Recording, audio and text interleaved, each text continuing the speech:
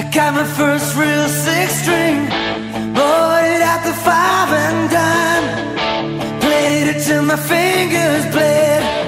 Was the summer of '69. Me and some guys from school had a band and we tried.